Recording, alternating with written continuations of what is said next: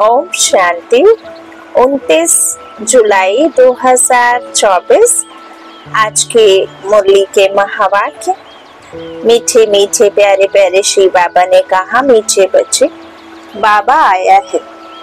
तुम्हें ज्ञान रत्न देने, मुरली सुनाने, इसलिए तुम्हें भी, तुम्हें कभी भी मुरली मिस नहीं करनी है। मुरली से प्यार नहीं तो बाप से प्यार नहीं। प्रश्न, सबसे अच्छा कैरेक्टर कौन सा है जो तुम इन नॉलेज इस नॉलेज से धारण करते हो? उत्तर वॉइसलेस बनना यह सबसे अच्छा कैरेक्टर है। तुम्हें नॉलेज मिलती है कि यह सारी दुनिया विशेष है। विशेष माना है है ही कैरेक्टरलेस यहाँ किसी के पास कोई कैरेक्टर नहीं है। जो सच्चा कैरेक्टर है, वो हमें बाबा आकर के बताते हैं। तो बाबा कहते, विशेष माना ही कैरेक्टरलेस बाप आया है वॉइसलेस वर्ल्ड स्थापन करने। वॉइसलेस देवताएँ कैरेक्टर वाले हैं। कैरेक्टर सुधरते हैं बाप की याद से। ओम शांति। बच्चे, तुम्हें पढ़ाई कभी मिस नहीं करना है। बाबा कह रहे हैं, बच्चे, पढ़ाई कभी मिस नहीं करनी है। स्वयं भगवान पढ़ा रहे हैं, है ना? तो पढ़ना है ना? ऊंचते ऊंच बाप, ऊंचते ऊंच पढ़ाई, ऊंचते ऊंच पदवी, है ना? तो बाबा कहते हैं, पढ़ाई मिस नहीं करना है। अगर पढ़ाई मिस की तो पद से भी मिस हो जाएँगे। मीठे मीठे रूहानी बच्चे कहाँ बैठे हैं? गॉडली स्पिरिचुअल यूनिवर्सिटी में। बच्चों को यह भी पता है कि हर पाँच हज़ार वर्ष बाद हम इस यूनिवर्सिटी में दाखिल होते हैं। यह भी तुम बच्चे जानते हो। बाप बाप भी है। टीचर भी है। गुरु भी है। वैसे गुरु की मूर्ति अलग, बाप की अलग, टीचर की अलग होती है। यह मूर्ति एक ही है। परंतु है तीनों ही। अर्थात बाप भी बनते हैं, टीचर भी बनते हैं, गुरु भी बनते हैं। मनुष्य की लाइफ में यह तीन मुख्य है। बाप, टीचर, गुरु वही है। तीनों पार्ट खुद बजाते हैं। एक एक बात समझने से तुम बच्चों को बहुत खुशी होनी चाहिए। और ऐसी त्रिमूर्ति यूनिवर्सिटी में बहुतों को ले आकर दाखिल करना चाहिए। जिस जिस यूनिवर्सिटी में बहुत अच्छी पढ़ाई होती है तो वहाँ पढ़ने वाले दूसरों को कहते हैं, इस यूनिवर्सिटी में पढ़ो। यहाँ नॉलेज अच्छी मिलती है और कैरेक्टर्स भी सुधरते हैं। तुम बच्चों को भी दूसरों को ले आना है। माताओं, माताएँ माताओं को, पुरुष पुरुषों को समझाएँ। देखो, यह बाप भी है टीचर भी है, गुरु भी है। ऐसे समझाते हैं, व नहीं, वह तो हर एक अपने दिल से पूछे। कभी अपने मित्र संबंधियों, सखियों को समझाते हैं कि यह सुप्रीम बाप भी है, सुप्रीम टीचर भी है, सुप्रीम गुरु भी है। बाप सुप्रीम देवी देवता बनाने वाला है। बाप आप समान बाप नहीं बना, बाप आप समान बाप नहीं बनाते, बाकी उनकी जो महिमा है, उसमें आप समान बनाते हैं। बाप का काम है परवरिश करना और प्यार करना। ऐसे बाप को ज़रूर याद करना है। उनकी भेंट और कोई से हो ना सके, बल कहते हैं, गुरु से शांति मिलती है। परंतु यह तो विश्व का मालिक बनाते हैं। ऐसे भी कोई नहीं कहेंगे कि हम सब आत्माओं का बाप हूँ। यह किसको पता नहीं है कि सभी आत्माओं का बाप कौन हो सकता है? एक बेहद का बाप जिसे हिंदू, मुसलमान, क्रिश्चियन आदि सब गॉडफादर ज़रूर कहते हैं, बुद्धि ज़रूर निराकार तरफ़ जाती है। यह किसने कहा? आत्मा ने कहा गॉड फादर तो ज़रूर मिलना चाहिए। फादर सिर्फ़ कहे, और कभी मिले ही नहीं तो वह फादर कैसे हो सकता? सारी दुनिया के बच्चों की जो आश है, वह पूर्ण करते हैं। सबकी कामना रहती है कि हम शांति धाम जाए आत्मा को घर याद पड़ता है। आत्मा रावण राज्य में थक गई है। अंग्रेज़ में, अंग्रेज़ी में भी कहते हैं, ओ गॉड फादर लिबरेट करो। तमो प्रधान बनते बनते, पाठ बजाते बजाते शांति धाम चले जाएँगे। फिर पहले सुख धाम में आते हैं। ऐसे नहीं पहले पहले आकर विशेष बनते हैं। नहीं, बाप समझाते हैं यह है वैश्यालय। रावण राज, इसे रौरव नर्क कहा जाता है। भारत में व इस दुनिया में कितने शास्त्र, कितनी पढ़ाई की पुस्तकें हैं, यह सब खत्म हो जाएँगे। बाप तुमको यह जो सौगात देते हैं, वह कभी जलने वाली नहीं है। यह है धारणा करने की। जो काम की चीज़ नहीं होती, उसको जलाया जाता है। ज्ञान कोई शास्त्र नहीं जो जलाया जाए, तुमको नॉलेज मिलती है, जिससे तुम 21 जन्म पद पाते हो, जो बाबा हमें समझ देते हैं, उस समझ से हम समझदार बनते हैं और फिर हम समझदार बनकर ऐसी दुनिया में जाते हैं, जहाँ सुख, शांति, जहाँ किसी प्रकार की कोई वस्तु अप्राप्त नहीं होती। और शास्त्र आदि पढ़ने से कोई सुख शांति की दुनिया में नहीं जाते। तो बाबा कहते, ये कोई शास्त्र नहीं है जो जलाया जाए। तो तुमको नॉलेज मिलती है जिससे तुम इक्कीस जन्म पद पाते हो।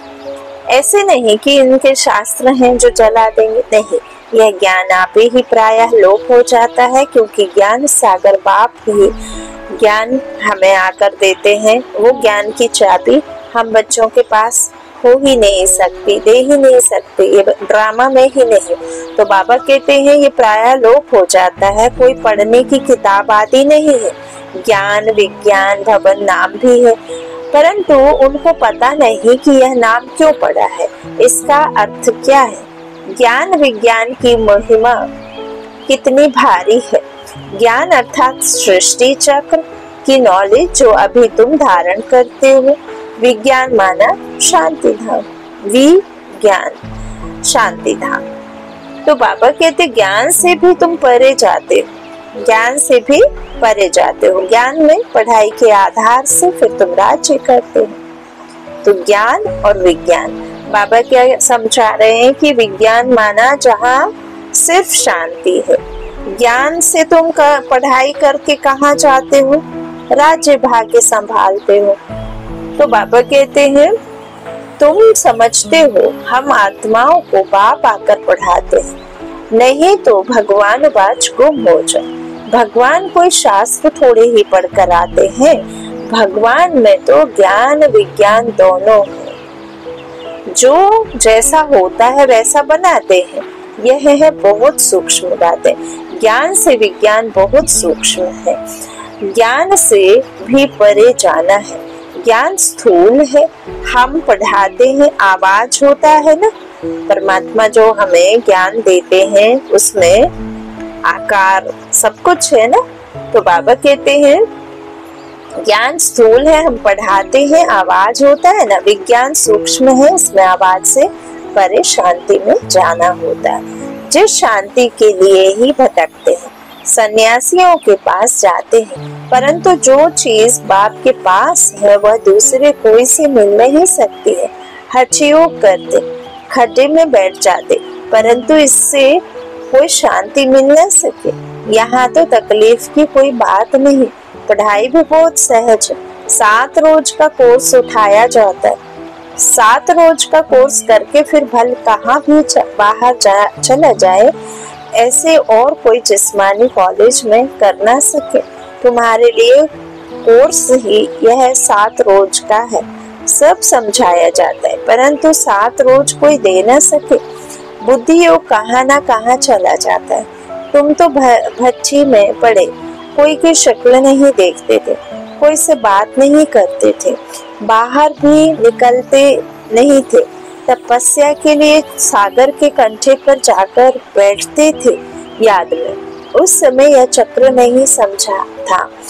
यह पढ़ाई नहीं समझते थे। बाबा कहते हैं, पहले पहले तो बाबा से योग चाहिए।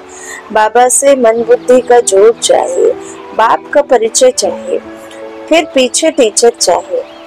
पहले तो बाप के साथ योग कैसे लगाए? है ना? उससे रिश्ता कैसे जोड़े? उसे याद कैसे करें? सबसे पहले बाबा को जानना है, फिर पीछे टीचर। तो बाबा कहते हैं, यह भी सीखना पड़े, क्योंकि यह बाप है अशरीरी, दूसरे तो कोई मानते ही नहीं।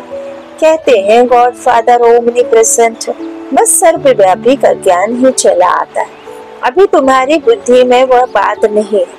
तुम तो स्टूडेंट हो। बाप कहते हैं, अपना धंधा आदि भी बंद करो, परंतु क्लास ज़रूर पढ़ो। गृहस्थ व्यवहार में बल रहो। अगर कहते, स्कूल में नहीं जाना है तो फिर बाप भी क्या करे? अरे, भगवान पढ़ाते हैं। भगवान भगवती बनाने। भगवान बाज मैं तुमको राजाओं का राजा बनाता हूँ। तो क्या भगवान से राजयोग नहीं सीखेंगे? ऐसे कौन ठहर सकेंगे? इसलिए ही तुम्हारा भागना हुआ। विष से बचने के लिए भागे भागे। तुम आकर भच्ची में पड़े। जो कोई देख ना सके, मिल न सके, कोई को देखते ही नहीं थे तो फिर दिल किससे लगाए? यह बच्चों को निश्चय भी है कि भगवान पढ़ाते हैं। फिर भी बहाना करते हैं, बीमारी है, यह काम है। बहुत तो बहुत, बाप तो बहुत शिफ्ट दे सकते हैं। आजकल स्कूल में शिफ्ट बहुत देते हैं। यहाँ कोई जास्ती पढ़ाई तो है नहीं। सिर्फ़ अल्फ और बे को समझने लिए बुद्धि अच्छी चाहिए। अल्फ और बे या यह याद करो, सभी को बताओ। त्रिमूर्ति तो बहुत बनाते हैं, परंतु ऊपर में शिव बाबा दिखलाते नहीं। यह थोड़े ही समझते हैं, गीता का भगवान शिव है, जिस द्वारा यह नॉलेज लेकर विष्णु बनते हैं। राजयोग है ना? अभी यह है बहुत जन्मों के अंत का जन्म। कितने सहज समझाने है। किताब आदि तो कुछ भी हाथ में नहीं है। सिर्फ़ एक बैज हो। उसमें भी सिर्फ़ त्रिमूर्ति का चित्र हो। जिस पर समझाना है कि बाप कैसे ब्रह्मा द्वारा पढ़ाई पढ़ाकर विष्णु समान बनाते हैं। कई समझते हैं, हम राधे जैसा बने। कलश तो माताओं को मिलता है। गोया राधे के बहुत जन्मों के अंत में उनको कलश मिलता है। यह राज भी बाप ही समझा सकते हैं और कोई मनुष्य मात्र जानते नहीं। तुम्हारे पास सेंटर पर कितने आते हैं? कोई दो, एक रोज आते फिर चार रोज नहीं। तो पूछना चाहिए, इतने रोज तुम क्या करते थे? बाप को याद करते थे, स्वदर्शन चक्र फिराते थे जो बहुत देरी से आते हैं, उनसे लिखकर भी पूछना चाहिए कई बदली होकर जाते हैं, फिर भी कोई सेंटर का तो ज़रूर है। उनको मंत्र मिला हुआ है, बाप को याद करना है और चक्र को फिर आना है। बाप ने तो बहुत सहज बात बताई है, अक्षर ही दो है। मनमना भव, मुझे याद करो और वर्षे को याद करो। इसमें सारा चक्र आ जाता है। जब कोई शरीर छोड़ते हैं तो कहते हैं फलाना स्वर्ग गए परंतु स्वर्ग क्या है, किसको पता नहीं। तुम अभी समझते हो, वहाँ तो राजा ही है। ऊंचते ऊंच ऊंच से लेकर नीच तक, साहूकार से लेकर गरीब तक सब सुखी होते हैं। कोई किसी भी मर्तबे का हो, चाहे वो रॉयल फैमिली का चांडाल हो, चाहे से जो प्रजा है उसका चांडाल हो। चाहे फिर वो प्रजा का नौकर चाकर हो, चाहे महलों का नौकर चाकर हो। लेकिन वहाँ बाबा कहते ऊंच से लेकर नीच तक, साहूकार से लेकर गरीब तक सब सुखी होते हैं। यहाँ है दुखी दुनिया, वह है सुखी दुनिया। बाप समझाते तो बहुत अच्छा है, भल कोई दुकानदार हो वहाँ क्या भी हो, पढ़ाई के लिए बहाना लेना अच्छा नहीं लगता। नहीं आते हैं तो उनसे पूछना है, तुम कितना बाप को याद करते हो। स्वदर्शन चक्र फिराते हो, खाओ, पियो, घूमो, फिरो। उसकी कोई मना नहीं। है इसके लिए भी टाइम निकालो, औरों का भी कल्याण करना है। समझो, कोई का कपड़े साफ़ करने का काम है। बहुत लोग आते हैं, भल मुसलमान है। वह पारसी है। पारसी हो चाहे मुसलमान, हिंदू है। बोलो, तुम स्कूल कपड़े धुलाते हो, परंतु यह जो तुम्हारा शरीर रूपी कपड़ा है, यह तो पुराना मैला वस्त्र है। आत्मा भी तमो प्रधान है। उनको सतो प्रधान स्वच्छ बनाना है। यह सारी दुनिया तमो प्रधान तमो प्रधान पतित। कलयुगी पुरानी है। तमो प्रधान से सतो प्रधान बनने के लिए लक्ष्य है ना? अब करो ना। करो समझो ना समझो तुम्हारी मर्ज़ी तुम आत्मा हो ना आत्मा ज़रूर पवित्र होनी चाहिए अभी तो तुम्हारी आत्मा इम्प्योर हो गई है आत्मा और शरीर दोनों मैले हैं उनको साफ़ करने के लिए तुम बाप को याद करो तो गारंटी है तुम्हारी सोल एकदम सौ प्रतिशत पवित्र सोना बन जाएगी फिर जेवर भी अच्छा बनेगा मानो ना मानो तुम्हारी मर्ज़ी। यह भी कितनी सर्विस हो डॉक्टर्स पास जाओ, कॉलेजों में जाओ बड़े बड़ों को बड़ों बड़ों को जाकर समझाओ कि कैरेक्टर बहुत अच्छा होना चाहिए। यहाँ तो सब है कैरेक्टरलेस बाप कहते हैं, वॉइसलेस बनना है। वॉइसलेस दुनिया थी ना? अभी विशेष है। अर्थात कैरेक्टरलेस कैरेक्टर बहुत खराब हो गए वॉइसलेस बनने के बिना सुधरेंगे नहीं। यहाँ मनुष्य है ही काम। अभी विशेष दुनिया से वॉइसलेस वर्ल्ड एक बाप ही स्थापन करते हैं। बाकी पुरानी दुनिया विनाश हो जाएगी। यह चक्र है ना। इस बोले में समझानी बहुत अच्छी है। यह वॉइसलेस वर्ल्ड थी, जहाँ देवी देवता राज्य करते थे। अभी वो कहाँ गए? आत्मा तो विनाश। होती नहीं। एक शरीर छोड़ दूसरा लेती है। देवी देवताओं ने भी चौरासी जन्म लिए हैं। अभी तुम सयाने बने हो। आगे तुमको कुछ भी पता नहीं था। यह, अभी यह पुरानी दुनिया कितनी गंदी है। तुम फील करते हो बाबा जो कहते हैं, वह तो बरोबर ठीक है। वहाँ तो है ही पवित्र दुनिया। यह पवित्र दुनिया ना होने कारण अपने पर देवता के बदले हिंदू नाम रख दिया है। हिंदुस्तान में रहने वाले हिंदू कह देते, देवताएँ हैं स्वर्ग में। अभी तुम इस चक्र को समझ गए हो।